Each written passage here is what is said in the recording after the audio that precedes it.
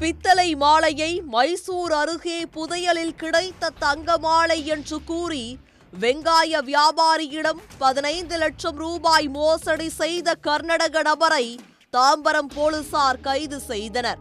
ஏற்கனவே திருச்சியில் சிக்கி சிறை சென்றவர் மீண்டும் சிக்கியதன் பின்னணி என்ன? சென்னை கோயம்பேடு சந்தையில் ராமஜெயம் என்பவர் வெங்காயம் மொத்த வியாபாரம் செய்யும் கடை நடத்தி வருகிறார். கடந்த இரண்டு மாதத்திற்கு முன்பு ராகுல் என்பவர் வெங்காய மண்டிக்கு சென்று ராமஜெயத்திடம் தனக்கு மூன்று டன் வெங்காயம் வேண்டும் என்று கூறி நட்பை ஏற்படுத்திக் கொண்டதாக தெரிகிறது. பின்னர் மைசூர் பேலஸ் அருகே தங்க புதையல் ஒன்று தனக்கு கிடைத்ததாக கூறி தங்கத்தால் செய்த ஒரு மாலையை ராகுல் காண்பித்துள்ளார். அந்த மாலையை விற்பனை செய்ய உள்ளதாகவும் யாராவது ஆள் இருந்தால் கூறுமாறும் கேட்டுள்ளார். அந்த மாலையிலிருந்து குண்டுமணி அளவு தங்கத்தை எடுத்து ராமஜெயத்திடம் கொடுத்துள்ளார். பரிசோதனை செய்து பார்த்த பின்னர் மாலையை விற்றுக் கொடுக்குமாறும் கூறியுள்ளார்.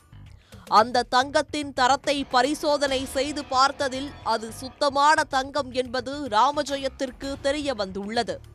அதைத் தொடர்ந்து விலையை கேட்டுள்ளார். உங்களுக்கு என்றால் இருபது லட்சத்திற்கு தருவதாகவும் மற்றவர்களுக்கு என்றால் விலை அதிகம் எனவும் ராகுல் கூறியுள்ளார். தானே வாங்கிக் கொள்வதாக கூறி தாம்பரத்தில் உள்ள விடுதியில் வைத்து ராகுலிடம் இருந்த புதையல் நகையை முன்பணமாக பதினைந்து லட்சம் ரூபாய் கொடுத்து ராமஜெயம் வாங்கியுள்ளார்.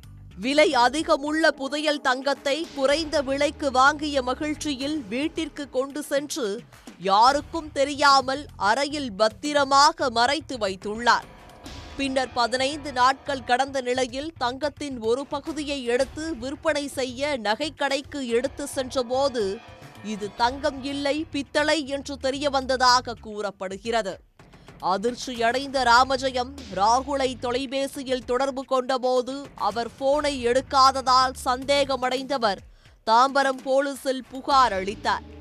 புகாரின் அடிப்படையில் வழக்கு பதிவு செய்து ஐந்து பேர் கொண்ட தனிப்படை அமைக்கப்பட்டது. ராகுலின் சிம்கார்டு முகவரியை கைப்பற்றி விசாரணை மேற்கொண்டபோது அவர் கர்நாடக மாநிலம் மாண்டியா பகுதியை சேர்ந்தவர் என்பது தெரிய வந்தது தனிப்படையினர் கர்நாடகாவில் உள்ள ராகுலின் வீட்டிற்கு சென்று விசாரணை மேற்கொண்டபோது ராகுல் மற்றும் அவரது மனைவி இருவரும் சென்னையில் இருப்பதாக தெரிவித்தனர். ராகுலின் மனைவி செல்போன் எண்ணை வைத்து நடத்தப்பட்ட விசாரணையில் அவர்கள் சென்னை மறைமலை நகர் பகுதியில் இருப்பது உறுதியானது. போலீசார் மறைமலை நகர் பகுதியில் இருந்த ராகுலை கைது செய்து தாம்பரம் காவல் நிலையம் அழைத்து சென்று விசாரணை மேற்கொண்டனர்.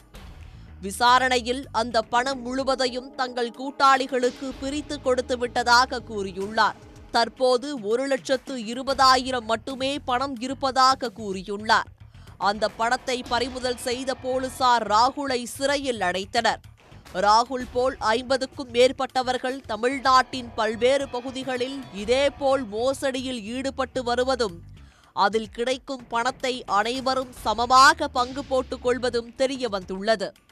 ராகுல் மீது பல்வேறு காவல் நிலையங்களில் இதுபோன்று போலி தங்கநகை மோசடி வழக்குகள் நிலுவையில் இருப்பதும் கடந்த இரண்டாயிரத்து பதினாறாம் ஆண்டு ராகுல் உட்பட பத்து நபர்கள் திருச்சி போலீசாரால் கைது செய்யப்பட்டு சிறையில் அடைக்கப்பட்டதும் தெரிய வந்துள்ளது புதையல் தங்கம் குறைந்த விலைக்கு தங்கம் தருவதாக யாரும் கூறினால் அதை பொதுமக்கள் நம்ப வேண்டாம் என்றும் அந்த நபர்கள் குறித்து அருகில் உள்ள காவல் நிலையங்களுக்கு தகவல் தெரிவிக்குமாறும் போலீசார் கேட்டுக்கொண்டுள்ளனர் புதையல் தங்கம் என்ற பெயரில் பித்தளையை கொடுத்துவிட்டு வியாபாரியிடம் பதினைந்து லட்சம் ரூபாய் பறிக்கப்பட்ட சம்பவம் சென்னையில் பரபரப்பை ஏற்படுத்தியுள்ளது.